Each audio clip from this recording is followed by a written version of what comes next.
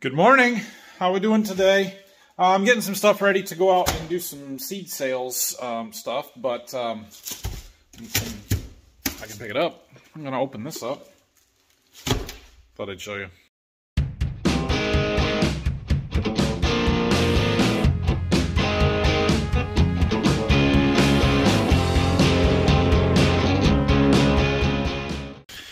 So I ordered this on Saturday, think, because I hadn't found my nine in like a month and a half, two months. I hadn't seen it, had been looking for it, thought I lost it. So then you order one and you find the old one about two hours after that. And I thought, you got to be kidding me.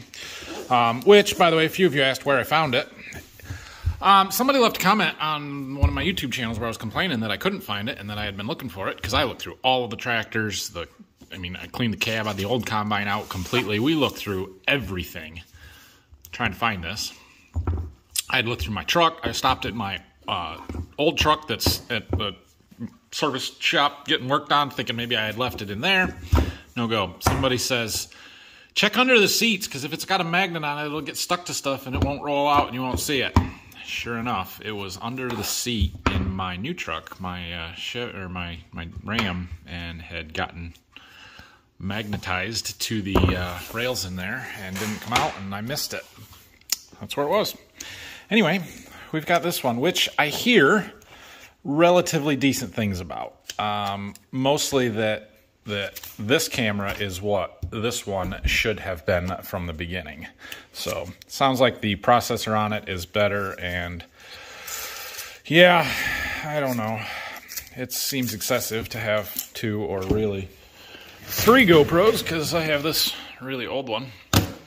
But um, you guys will appreciate it, I guess. I'll be able to take some cool shots and do multiple things faster. Um, I uh, occasionally try and do some equipment montages where I mount GoPro and move it around and get different angles and stuff. And now I'll be able to do it twice as fast because I can move two cameras and not have to get out 15 times to do that. So that will be nice. Um, yeah, a couple of mounts, nothing too fancy there. A couple of batteries, so that's good. My wife's not very happy at me for having the second one, but they had already shipped it. What was I supposed to do? I'm not sending it back. It'll be fine. I also bought this uh, protective housing for it, which you don't really need with these cameras because they're pretty tough as it is, but I do have some rather severe conditions that uh, might put a camera in that might help protect it. You know, inside the back of a combine, just random ideas and places that I thought I could use one. So I got that. Where are we at, guys? I think the last thing I filmed was my camera, right? Yeah, anyway. Uh, it is now 4 o'clock. I have spent all day out uh, with my sales rep doing some seed business stuff, trying to stop and see some guys and handing out some plot data and selling seed and doing whatever. Um, we're going to put some cameras on this combine here in just a minute, but first, let's go out here and see something. Brock came today, and look what he did to our concrete. We got a mess. But, you know why we have a mess? Do you know what all this is from? Do you know what it's from? I'll tell you. It is from this head. Why? Why would we clean up a bean head in the middle of harvest, you ask? Well, because our new one is in. Yeah. Looks like we need a little. Yuck. It's better than it was. And uh, we're just getting a little cleaned up because we have traded it off. We've got a brand new 40 foot draper coming and uh, it is at the dealer and I believe ready to go. Although they haven't called me and said come and get it yet, so I'm not 100% sure about that. But I think that tomorrow we're going to take this one up there, have them lift it off, and uh, swap it. Put the new head on the trailer and bring it home. At least that's my plan. So we're going to help Dad clean up this concrete here, I think, a little bit. Phil's loading trucks over there, hauling some corn out. Yeah. Need a scraper. Oh, he's got a scraper. I'm gonna run it over.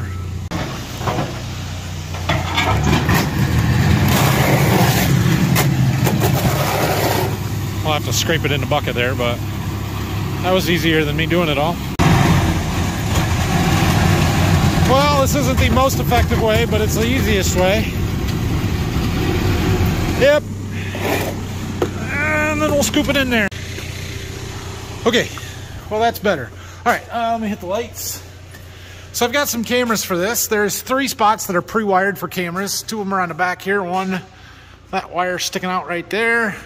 Another one up there on the unloading auger. And then there's that one in the grain tank that I showed you, was that yesterday? The day before? Whenever it was. And uh, I got the cameras, so we're gonna put them on. All right, so here are our cameras. We've got three of them. These are a Voyager camera. So I was, uh, when I was trying to figure out what cameras this combine is pre-wired for and what it takes, um, they are a, uh, what was the, Motec or something camera that it's wired directly for, but John Deere actually sells this specific camera with an adapter cable to make them work for it. Um, yeah, I'll tell you about these in just a second, but this is what we're going to put on. So I'm going to take them out to the shop. I think I've got the adapter cables out in our little parts barn. So I'm going to run out there real quick. Even better, somebody brought them in. They were sitting on the bench. So this end plugs right into our camera and that screws into what's uh, on the combine already. So should work. Should be pretty easy. Uh, do I want to put the bracket on before or after? Before. We're going to put it on loosely. Got to take the little screws out of here, screw the bracket to the camera. Okay, I learned a while ago when you're going to film yourself doing something that you're going to do multiple times, you don't film the first one because you need a practice round. Anyway, I got this camera mounted up. They got this little bracket here, and I don't like that it's only on one screw, but the bracket holes do not line up and match up with the, the they don't match. So we're gonna try it like that. It's got a little adjustment in it. We can move it around if we need to. That's the one that's gonna tell us when our grain tank is full. We've got to get a zip tie and tie up all the extra wiring there somehow so it doesn't get pulled down in the grain. But that should work. Now, we'll work on the ones back here. So the first thing we do is bolt our bracket up to where that goes. I gotta tighten it down yet. And then we'll get our camera. This, yeah, I guess that light's okay. Seems all funky and crooked, but I guess that's where it needs to be. You guys wanna know something frustrating? So I got those cameras, right? I did not buy them from John Deere. We're gonna talk about that. Deere sells the same cameras. They also sell the adapter cables. So when I asked the dealer about this and getting the adapter cables, he said, yeah, they're 1821. I have an invoice here. Right there, it says 1821. Here's the adapter cable with the price tag on it. What's that price tag say, guys? 13.99. Now, I know it's only $3, $4, a little over, times three of these. But if you're going to sell it to me for 18.21, at least take the dang price tag off of it. What the heck? Well, anyway, I got the camera up there. We'll have to um, go turn the screen on and look at it and see what angle and adjustment we need to do. Here's the last one. This one's a little bit different because the mount, the holes on the bottom there are threaded and they can't get to the back side of them very easily. So I got a couple of different bolts. I'm gonna try and see if they thread into these holes or what exactly the threads are. Might be that one. Yep, that'll work. So, where'd my other camera go? Right there. Okay, there's that one. I had to drill the hole in the bracket out a little bit in order to make the bolt full that fits the threads fit through the camera bracket, but it should work. Is it just me or does that camera look crooked? It's probably crooked. Anyway, uh, they're on there. They're all hooked up and installed. So let's go in the cab and see what we can see. We'll give her a minute to wake up. Okay. Uh, menu. Uh, uh, video. Right there. Camera feed. Oh, sorry, I should show you the actual screen, not above the screen, huh? Analog 2. Oh, where's one? Okay. So that's the one on the back of the combine.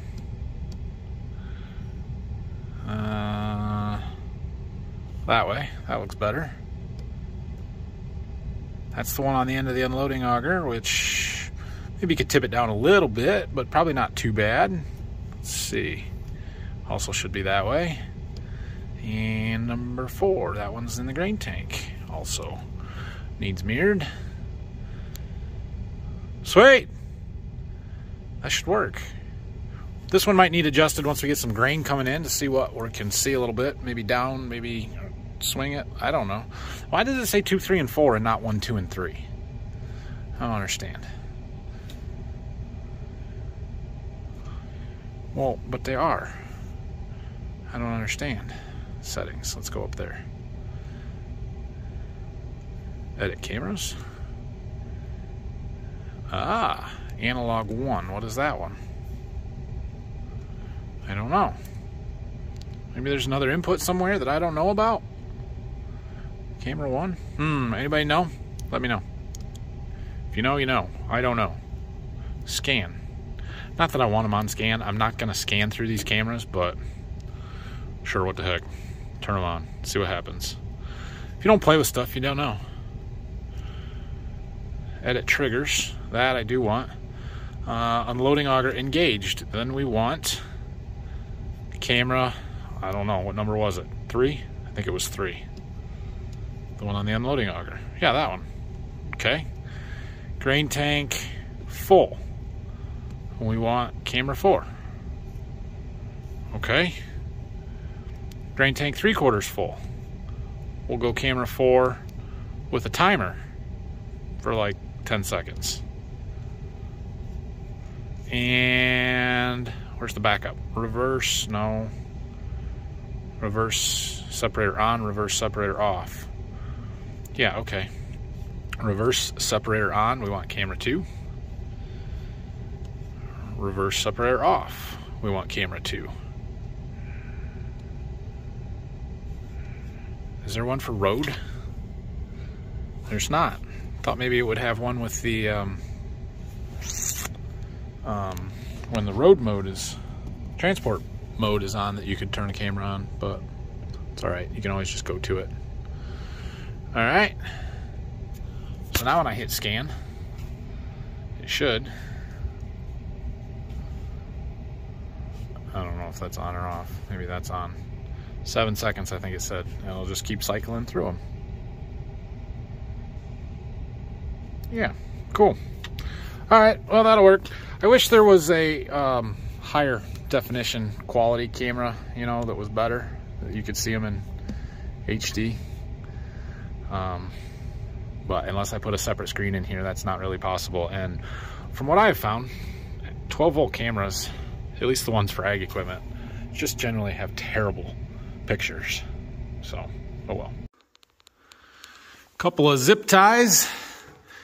Tie those wires up out of the way and we'll be good. Oh, I need to tighten that one up. I think that'll work. Okay. I should wash the windows while I got this open. That's what I should do. Here's what I'm gonna do. Yeah, it's clean. I already did that to that one. So let's talk about those cameras. Uh, so those are a Voyager camera. Um, Deere has a different camera that they use, I guess some that you can buy from Deere. They're this Motec or whatever. They're over a $1,000. It's ridiculous uh, for three of them. Um, these are a Voyager camera. They're a fair bit cheaper. Um, and Deere does sell them. They sell a kit for, I think, it, I don't remember what it was. It might have been, might have been just as much, 1200 bucks for the kit, something like that. I don't remember exactly. But anyway, uh, I had talked about needing cameras for this combine right after we got it and that I would look into that when I needed, when I got a chance to do so.